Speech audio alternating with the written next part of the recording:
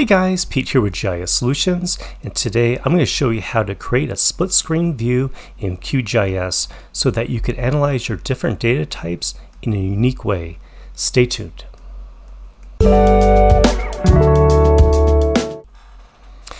Okay guys, so I have a QGIS project open and I just have one uh, raster file here that we'll use as part of the example here.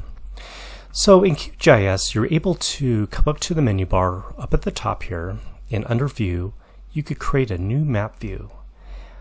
I have a dual screen, and for some reason this keeps popping up on the other side, so I apologize. But you could keep doing this. There's a hotkey, which is Control M, or you could simply do what I'm doing, click at the top, View, New Map View, and you could keep going on and on. And when I grab the top of one of these maps, you'll see, and I hold down the left uh, button on my mouse, you can see this blue area kind of highlights. It means that you could dock it onto those blue areas. So it could be on the top, on the right side, perhaps on the bottom. Oops. And you could go nuts with all the different types of map views you want. And of course, too many might be again, too many. So in my case here, I'm just going to do two. So even if I have this dot here, I could either uh, X out and delete it, or I could simply, um, once it's docked down here, I could grab it again by left clicking on my mouse and holding it down and just dragging it out. Or if it's, you don't like to do that, you can simply hit this little button here, which kind of pops it out. Okay, I'll actually dock it on the right side here. So I have my main map, and then I have map here, map number one. And what we'll do is, on map number one here, on the right side, if I click this little wrench, it says View Settings, this little icon. What we want to do is synchronize the view center with the main map. So I'll go and click onto that. And that looks good. So now it's synchronized, but the scale isn't quite right. And what I mean synchronized is on the main map here with my hand I'm panning around. The, on the on the right side there's a little dot that's following so it's synchronizing as I move my mouse around but we also want the scale to match so let's go back over here to the map 1 under the settings and we'll click on this box here that says synchronize scale. As you see now kind of popped to the same scale. So, you know, this is really useful. So if you're just analyzing, you know, like a raster file, it doesn't have to be just raster files. It could be the base map, it could be your own data, and we'll go over that here in just a second.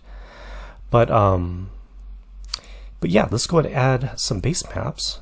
And just to give you another example, if we come up here to web, and I'm using my Quick Map Services plugin, and I'll put a link in the description down below if you guys have questions on how to add these base maps. Basically, I have Google, ESRI, OSM, etc.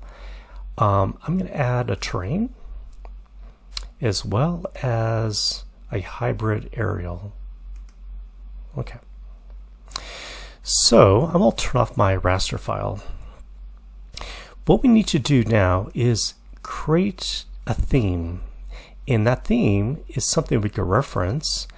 Um, and this theme also assigns which base map goes to which side, like either the main view or map one. So for example, if I just leave one clicked, this hybrid, it will be on the right side. Alternatively, if I just leave the terrain clicked, it will also just be the one on the right side and the hybrid will be on this side. So let me show you. So let's go back to that first scenario. So hybrid, the only one being clicked, it's going to be on the right side and the terrain will be defaulted to the left side. And to add the theme, what we want to do is go over to the left side under layers and click the little eye and add a theme.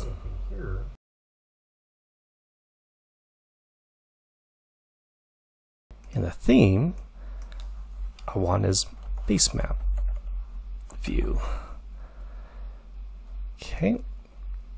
So now what I'll do is come up here to my set view theme and I'll click the one I just created, base map view. Okay, so now if I turn on that terrain, it is on the left side and the hybrid's on the right side. As I zoom in on the main map, the right map here, it follows. So I'm right on top of the tip of this little round mountain feature here. Now if I wanted to switch these, say I wanted the hybrid over on the left side and the terrain on the right side, what I would do is just leave the one I want on the right side checked on this side here, which is the terrain. And what I could do is over here on the manage map themes, I could replace theme. I want to replace the map view that I just created. Say yes. Okay. And again, it's on map view. And I turn on the hybrid. Okay, now the aerial's on the left side. Hope that's not too confusing, but that's just another flavor of doing this. And of course, you can add your own data to this. Um, if I add some vector layer, I got some sample data here. I'll go and add that. And close. And let's go ahead and zoom to the layer. So it looks like it's right over here. And of course, if I wanted the sample data on the other side, with the terrain, for example, I can either create a new view or overwrite what I just had, but let's go and just create a new view, or I'm sorry, a new theme. So under layers, I'm clicking that little eyeball saying add theme, and I'll just say uh, vector data. Go and say OK. And on the map one on the right side, set view theme, here's my vector data theme. Let me just turn off the, that one and actually let me just turn that on. There we go. So it's on the right side and I could turn on the hybrid.